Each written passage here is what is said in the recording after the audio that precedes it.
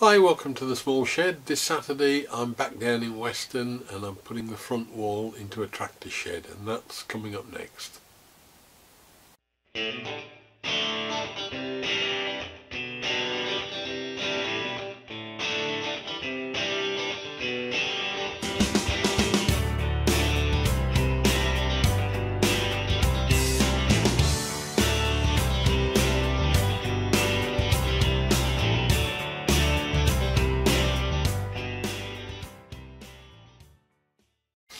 Now before I get on to the tractor shed there's uh, one little purchase to look at that I uh, made last week.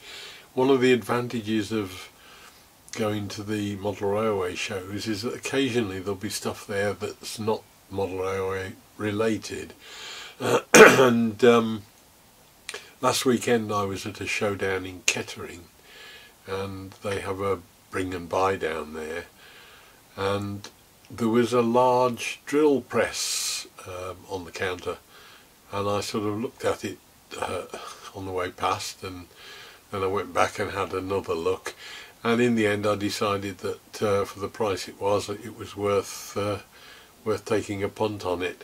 Uh, I've already got a drill press but it's pretty old, it's a bit rusty here and there and it's a little bit poorly, it's seen better days so it may well be that this one will replace it. Let me just show you uh, when I get a chance to compare the two I will.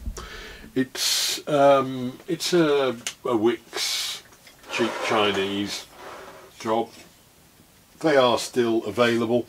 it's hardly been used. There's a little bit of um, metal filings down there, so it has had some use. It comes with a nice um, machine guard which my old one was uh, failing on. Chuck key, it works, it's very smooth, it's very quiet. They're only about £70 new so it's not any uh, massive budget uh, saving exercise but I got it for the princely sum of £25 so that will replace the other um, drill press I think on the cart that I've just been building uh, and will take uh, pride of place in the shop as the the new drilling machine. Quite what I do with the old one I'm not sure. I may use the motor off the old one um, for something like um, a large belt, a large disc sander that I've been looking at doing. Um, so that may well come back and be used in part in the future. So that's the uh, the purchase for the moment and uh, hope it fits well in the shop. Now, with regards to the tractor shed, it's not quite what it seems. My grandson had for Christmas um, some plywood or MDF buildings for a farm building set he had. And he also had a large tractor and trailer and a few other bits and pieces.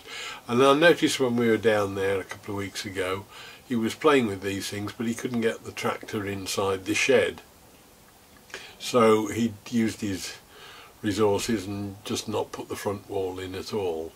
And I thought it might be nice to make a new front wall for him with a sufficiently large size opening in it. So I surreptitiously measured it up and traced round it when he wasn't around the other day.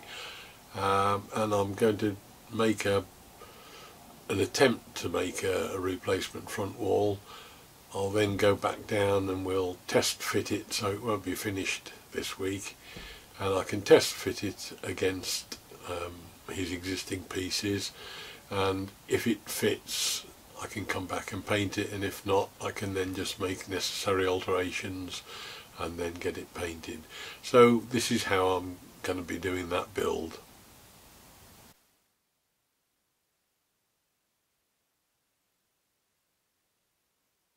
Used as a template was basically a piece of cardboard that uh, I'd traced round while I was down there so that although it gave me a pretty good idea it was never going to be um, spot on accurate. Uh, but I didn't really want to make it obvious as to what I was doing. So I took a piece of uh, 6mm MDF that was lying around at the back of the uh, workbenches uh, left over from one of the projects I'm not quite sure what and basically just transferred all of the measurements from the cardboard box template I'd done onto the MDF uh, just to get a rough idea of how it would work. It's a fairly simple job just to move the uh, the dimensions across and all I was doing that was any different was to cut a, a larger and taller opening. I think the original farm set he had uh, intended to have a floor uh, halfway up the building like a mezzanine of some sort. And that way uh, that there was a effectively two openings in the front wall rather than just the one. And uh, one of the advantages I've got now is having all the uh, the goodies to make these jobs easier. So for the arch at the top of the doorway uh, rather than just freehand it I've got the Banggood jig for the Katsu so I might as well use it. Um, it's very easy to use. The biggest problem I've well not problem the biggest time waster I as far as I'm concerned is that every time I want to use it um, you've got to take the bottom plate off the Katsu and, and for that reason alone it's almost worth spending the 30 quid I think it is for a new one on a, a, a dedicated router to have in that circle cutting jig because I got it on a whim but actually I think this is probably about the third time I've used it in a couple of months. So it is um, quite a versatile bit of kit and it's well worth, as I say, probably investing in another router just to specifically sit with that. Uh, I put a little, there's a 6 mil or quarter inch, I'm not quite sure which stud that you get in the kit that you can center the router in with that white plastic insert and then you put the bit in in the knowledge that the uh, the router bit is dead center in the hole. Again, it doesn't really matter in that you're measuring the distance between the edge of the router and the pin the thing registers in, but uh, does keep it nicely sorted. And then I just dropped it in and uh, done the routering.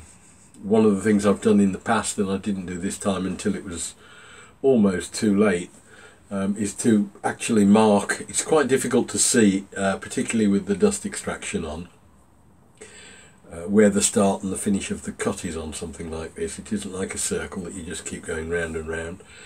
And what I've done in the past is to just mark um, on the, you put it at the start of the cut and then you draw some lines, which I'm just doing now, um, that mark where the tail of the jig is and it gives you a, a reference point when you're actually cutting. Then I took it over to the bandsaw and again it's a fairly textbook sort of style of bandsaw cutting. Uh, there's the little lugs that protrude from the side of the wall that have got the slots in for the other panels to sit in and really it's just a little bit of a faff to get those cut out, but they're fairly easy to do. It just meant you couldn't get a decent run of cut on anything because uh, there were all these pieces in the way.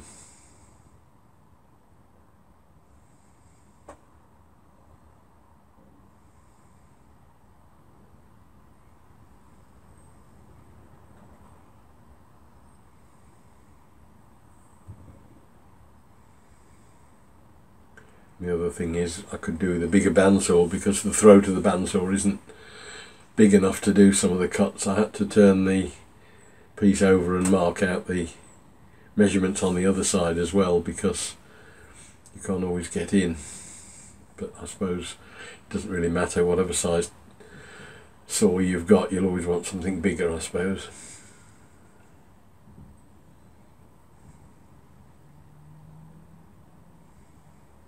Then it was just cleaned up with the sander ready to take down for a trial fit.